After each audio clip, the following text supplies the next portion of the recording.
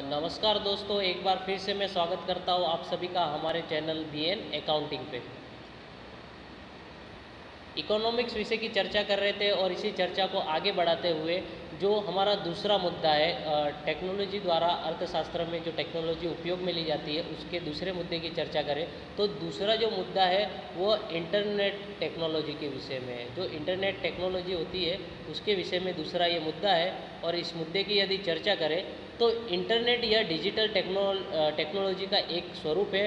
हम सभी इंटरनेट का उपयोग अक्सर करते रहते हैं। नीचे दिए गए चार्ट द्वारा अर्थशास्त्र के अध्ययन में इंटरनेट टेक्नोलॉजी का उपयोग समझेंगे। यानी जो इंटरनेट है, उसका दैनिक जीवन में हम रोज़मर्रा के जीवन में काफ़ी सारा उपयोग करते हैं और किस प्रकार से हम उपयोग करते हैं, इसके बारे में हम आज चर्चा करेंगे। तो ट्यूटोरियल ट्यूटोरियल की बात करें तो कुछ वेबसाइटों पर अपने विषय के पावर पॉइंट प्रेजेंटेशन, पढ़ने लायक सामग्री इत्यादि ओपन एक्सेस लिंक में रखी जाती है। ऐसी सामग्री को हम पढ़ सकते हैं, तब तक हमारे लिए ट्यूटोरियल जैसा साबित होता है। यानी कहने का मतलब ये है जब भी हम ये वीडियो आप तक पहुंचाते हैं तो किस माध्यम से पहुंचाते हैं? हम आपको एक लिंक भेजते हैं। आप उस लिंक पे क्लिक करते हो और आप पहुँच जाते हो हमारे वीडियो पे। इसी प्रकार आपको ऐसी लिंकें आती है, जब आप उसको क्लिक करते हो तो आप गूगल की किसी वेबसाइट पे पहुँच जाते हो और वहाँ से आपको पढ़ने लायक सामग्री इत्यादि प्राप्त होती है। इसे ट्यूटोरियल कहा जाता है। तत्काल शिक्षा या जानकारी। तत्काल शिक्षा या जानकारी की यदि हम चर्चा करें तो कुछ संस्थाओं के विशेषज्ञों का भाषण भाषण के वीडियो इत्यादि ओपन एक्सेस लिंक पर रखे जाते हैं। कई बार ऐसी वेबसाइट द्वारा हमें वर्गखंड जैसा पढ़ने एवं सीखने को मिलता है।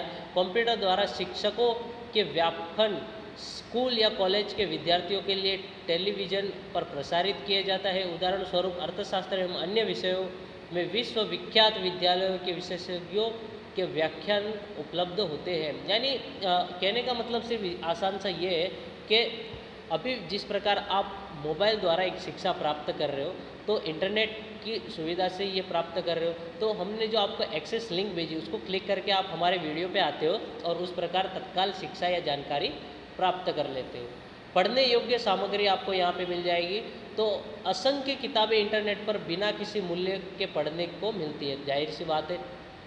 इसके अतिरिक्त उस विषय के निष्णांतों के लेख जनरल इत्यादि भी पढ़ने को मिलते हैं। तो कुछ जनरल पैसा भरकर भी पढ़ सकते हैं। इस सामग्री को ई बुक्स ई जनरल के नाम से जाना जाता है। यानी आप आसानी से कोई भी पुस्तक इंटरनेट गूगल पे सर्च करके पढ़ सकते हो। ये इंटरनेट टेक्नोलॉजी का उपयोग है। अगले मुद्दे की यदि हम चर्चा करें तो अगला जो हमारा पॉइंट है वो है विविध जानकारी प्राप्त करना। यदि हमें कोई भी जानकारी, किसी की भी जानकारी ना हो तो हम सबसे पहले किसका दरवाज़ा खटखटाते हम गूगल का दरवाज़ा खटखटाते हैं, जो कि एक सर्च इंजन है किसका? इंटरनेट का। इंटरनेट पर सर्च कर, करके अर्थशास्त्र में डिग्री देते समय कॉलेज तथा यूनिवर्सिटी की जानकारी प्राप्त की जाती है। इसके अतिरिक्त किसी भी विषय से संबंधित जानकारी सर्च करके प्राप्त की जा सकती है। तो इस प्रकार हम जानकारी सर्च करके प्राप्त कर सकते हैं। अन्य जानकारी प्राप्त करना सर्च करके रेफरेंस बुक अर्थशास्त्रियों द्वारा किए गए व्याख्या व्याख्यांकन एवं उनके क्वाइट्स उद्गर्त इत्यादि की प्राप्त कर सकते हैं। यानी हम उनके द्वारा लिखे गए लेखन, उद्गर्त यह सारी जानकारी भी इसे वे सर्च करके प्राप्त कर सकते। सांख्यिकीय जानकारी हम यहाँ पे प्राप्त कर सकते। तो सांख्यिकीय जानकारी किस प्रकार से हम प्राप्त कर सकते, उसकी यदि चर्चा करें तो अर्थशास्त्र में अनेक प्रकार की गौण जानकारी का उपयोग किया जाता है। जैसे कि सरकार के बजट की जानकारी, बैंकिंग संबंधित जानकारी, कृषि उत्पादन संबंधित जानकारी आयात निर्यात का कद, गरीबी का अनुमान रोज़गार का अनुपात, औद्योगिक उत्पादन के संबंधित जानकारी इत्यादि सभी जानकारी के विश्वसनीय और अधिकृत स्रोतों मतलब बैंकिंग संबंधित जानकारी के लिए आरबीआई की वेबसाइट, भारत के अंदाज पत्र संबंधित जानकारी, वित्त मंत्रालय की वेबसाइट इत्यादि पर प्राप्त की जा सकती है। उनका महत्व संस्था है, जैसे कि C S O, N S S O, W H O, U N O C M I E I L O I M F विश्व बैंक इत्यादि की वेबसाइट का उपयोग होता है। विश्वसनीय स्रोत अर्थात जो संस्थाएँ, ऐसी जानकारी निष्णात को सहायता से इकट्ठा करके उसे छापते छापती हो वे स्रोत है। यानी कहने का मतलब ये है कि इंटरनेट टेक्नोलॉजी की मदद से आप इन सभी संस्थाओं की जानकारी पढ़ सकते हो, सरकार का अंदाज पत्र बेरोजगारी इत्यादि सभी के विषय में जानकारी आप इंटरनेट टेक्नोलॉजी के माध्यम से ले सकते हो। आगे यदि बात करें तो टेक्नोलॉजी है तो भय स्थान भी काफ़ी सारे होते हैं। तो स्थान की बात करें तो सर्वप्रथम कंप्यूटर की तरह इंटरनेट भी एक साधन है और शिक्षक की अपनी स्वयं की विचार शक्ति और तर्क शक्ति का स्थान नहीं ले सकता। कंप्यूटर से आप जानकारी प्राप्त कर सकते हो, पर किसी शिक्षक के समक्ष बैठ कर पढ़ना और ऐसे पढ़ने में काफ़ी सारा फ़र्क देखने को मिलता है।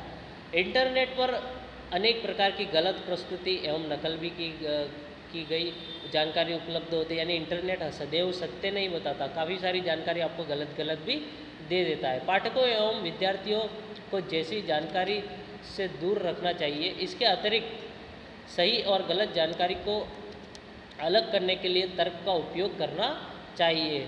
कोई भी जानकारी विश्वसनीय वेबसाइट पर से ही लेना चाहिए, नहीं तो गलत निर्देश के मार्ग पर जाएँगे। यानी कोई भी जानकारी एक विश्वसनीय वेबसाइट पर से आप लीजिए यदि आपको नहीं मिल रही है तो किसी से पूछिए, परंतु गलत जगह पे नहीं जाइए। अर्थशास्त्र के अध्ययन में कॉम्पैक्ट डिस्क यानी सीढ़ी का उपयोग। सीढ़ी का फुल फॉर्म एग्ज़ाम में पूछा जाता है कि सीढ़ी का फुल फॉर्म बताइए तो आपको सीढ़ी का फुल फॉर्म कॉम्पैक्ट डिस्क बताना है। तो इस बार ध्यान रखिए कि काफ़ी सारा अभ्यासक्रम हटा दिया गया है तो ऐसे छोटे छोटे मुद्दे आने की संभावना बहुत ही अधिक है।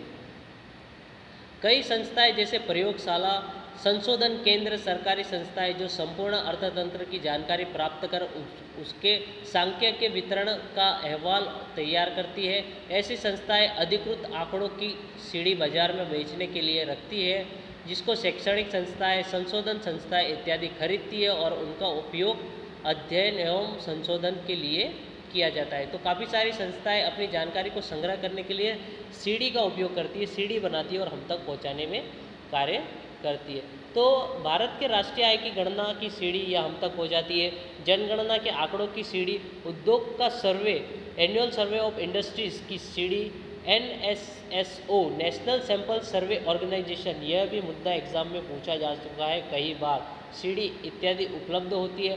अर्थतंत्र की तमाम जानकारी के लिए सीढ़ी उस मंत्रालय के सांख्यिकी विभाग में से प्राप्त हो सकती है। तो यह थी सीढ़ी सीढ़ी के आगे यदि हम चर्चा करें तो इस प्रकार कुछ संस्थाएँ, जैसे कि C M I E centre for monitoring India Indian economy यह भी सवाल काफ़ी इम्पोर्टेंट है, यह भी आपके एग्ज़ाम में पूछा जा सकता है। इत्यादि भी संख्या की जानकारी की सीढ़ी बेचती है और समग्र अर्थतंत्र के महत्वपूर्ण आंकड़ों का सॉफ्टवेयर बनाती है। यद्यपि यह अधिक खर्चीला होता है और संशोधन संस्था संस्था या कंपनी द्वारा खरीदा जाता है। यदि इस प्रकार कुछ सीढ़ी का चित्र आपके सामने मैंने रखा है, यह होती है सीढ़ी और सीढ़ी के विषय में आपने संपूर्ण चर्चा यहाँ पे सुनी। तो यहाँ पर हमारा चैप्टर नंबर वन वो समाप्त तो होता है। आशा है आपको अच्छी तरह से ये चैप्टर समझ में आ चुका है। जब हम मिलेंगे तो इसकी संक्षिप्त जो चर्चा है वो फिर से करेंगे और तब तक के लिए अगले लेक्चर में हम दूसरा चैप्टर शुरू करेंगे। तब तक के लिए हँसते रहिए, मुस्कुराते रहिए, स्वस्थ रहिए और पढ़ते रहिए। धन्यवाद।